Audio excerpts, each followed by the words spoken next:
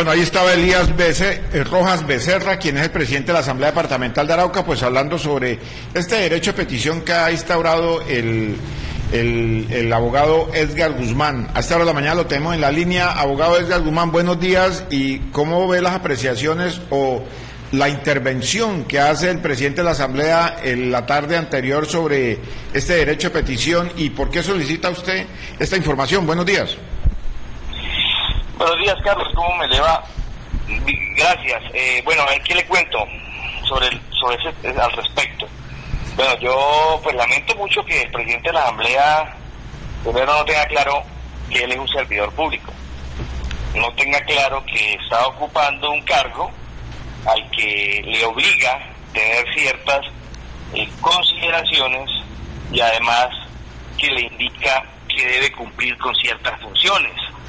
Entonces, cuando uno escucha a un servidor público llevar a, al nivel que él lleva una solicitud respetuosa que se le hace sobre información, además sobre algo que él mismo dijo en la asamblea departamental. Yo no le estoy preguntando nada de su vida privada, ni le estoy preguntando eh, nada que tenga que ver con situaciones ajenas a su actividad eh, política, pública.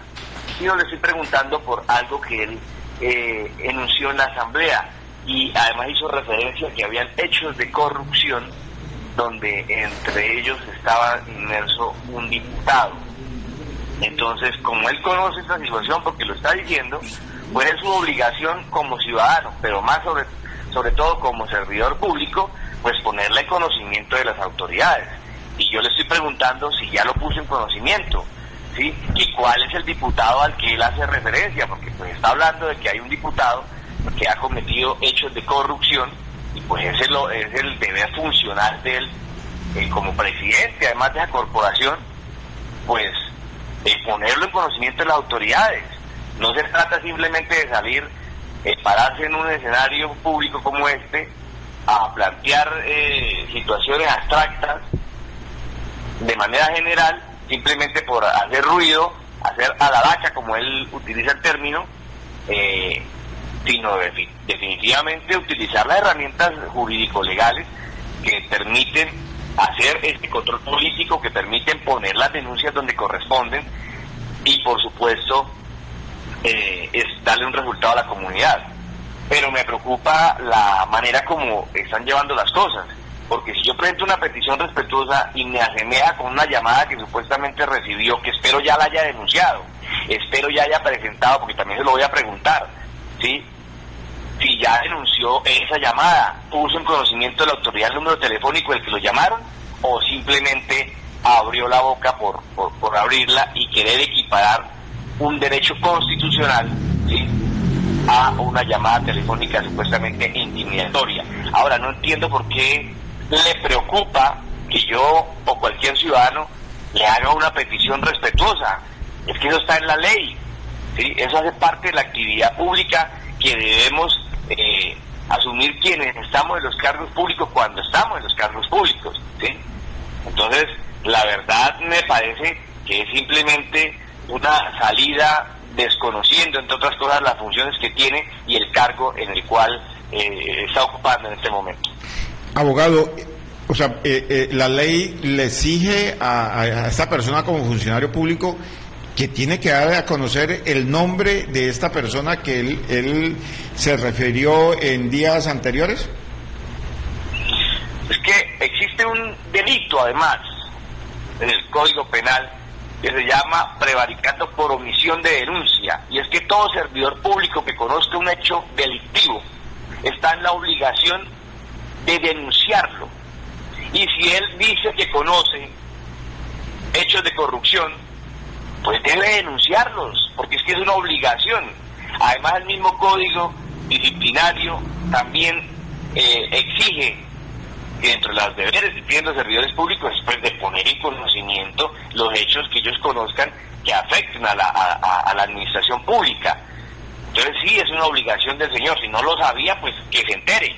¿Sí? está en la obligación de denunciar los hechos eh, de corrupción o hechos delictivos que él tenga conocimiento. Entonces, cuando uno escucha un servidor público diciendo que tiene conocimiento de cierta situación, pues hombre, entregue la información, entregue las pruebas, ¿sí? Y ponga la respectiva denuncia. Pero no es pararse allí a decir cuánta vaina se le ocurre simplemente por hacer protagonismo, ¿sí? Y tratar de lavar todo el manto de, embarradas que vienen metiendo allí en esta, en esta administración. Entonces, las cosas son como son y estamos hablando de temas en derecho. Ahora, si existe un hecho delictivo, sea venga donde venga, pues hay que denunciarlo. Si lo llamaron para intimidarlo, como él lo dijo, que porque había hecho lo del tema de las denuncias o los comentarios, más bien, porque eso no son ni denuncias, los comentarios frente a la contratación y frente a los contratistas, pues hombre, vaya, ponga la denuncia en la fiscalía, lleve el número telefónico. Existen herramientas tecnológicas importantes para determinar a, dónde está ubicado inclusive el número telefónico del que te están llamando el señor diputado. Abogado, otra, otra o, lo que él mencionó allí, que primero usted debería revisar su pasado como diputado, como funcionario, ¿a qué se refiere? No sé si tiene algún cuestionamiento frente a las actuaciones que yo realicé cuando estuve en la Asamblea Departamental por 12 años. Yo fui elegido, gracias al pueblo araucano, durante 12 años como diputado. Eh, si tiene algún hecho delictivo que yo haya cometido, lo invito a que me denuncie. Si tiene eh, alguna información en la cual yo haya eh, cometido algún acto de corrupción, lo invito a que me denuncie. ¿sí? Y si tiene algún cuestionamiento de la forma como ejercí mi actividad política eh, como diputado, pues yo creería que primero, pues no creo que nunca haya votado por mí, ¿cierto? Y segundo, las oportunidades que me presenté a la Asamblea, pues el pueblo araucano me eligió como diputado. Eso ya, digamos que es muy subjetivo. Si tiene pruebas frente a alguna cosa, si se refiere a algún hecho delictivo que haya cometido, pues le pido por favor que me denuncie. Pero no por ello entonces ahora eh, me venga a, a, cuestionar el hecho de que le presente una solicitud respetuosa. Oiga, es que entonces a los servidores públicos no se les puede preguntar nada. O sea, me parece gravísimo que este servidor quiera entonces constreñir el hecho de que un ciudadano pregunte un hecho que le, parece interesante o le llama la atención. ¿sí? Además, eso es, entre otras cosas, le advierto al diputado que eso es una falta disciplinaria. ¿sí? Su eh, posición frente al hecho de las solicitudes respetuosas es que están consagrada en la constitución política, además como derecho fundamental. ¿sí? Entonces, yo le invito más bien a que conteste y a que presente las denuncias de acuerdo a lo que él le consta y que lo dijo eh, abiertamente allí en la Asamblea Departamental. Es mejor que lo haga porque dice que la cosa jurídicamente no está bien para nadie. ¿Y cuánto tiempo tiene él para responder este derecho a petición? ¿Y qué puede pasar si él no da a conocer el nombre de este diputado o exdiputado? Simplemente le advierto, yo presentaré la respectiva denuncia eh, de acuerdo a la solicitud que haga, una vez me responda, eh, a, la, presentaré la queja disciplinaria en la Procuraduría y la denuncia por omisión de denuncia de parte de él a la Fiscalía y ya pues que él responda ya ante las entidades qué fue lo que pasó, si fue que se le olvidó o fue que de pronto eh, en el momento que lo dijo no estaba pensando bien. Ahí le ayudo, diputado, para que de pronto tenga la posibilidad de responder cuando lo llamen a entregar descartes por lo que usted mismo ha dicho. Bueno, abogado Edgar Fernando Guzmán, muchas gracias por aceptar la invitación y aclarar este tema sobre este derecho a petición que ha instaurado usted ante el presidente de la Asamblea, Elías Rojas. Un abrazo, muchas gracias. Feliz día para ustedes. Bueno, ahí estaba Edgar Fernando Guzmán, abogado, quien instauró un derecho de petición al presidente de la Asamblea Elías Rojas con el fin de conocer cuál era ese diputado que hacía la daraca y se iba y como se dice, después se reunía con los contratistas a cobrar la famosa vacuna.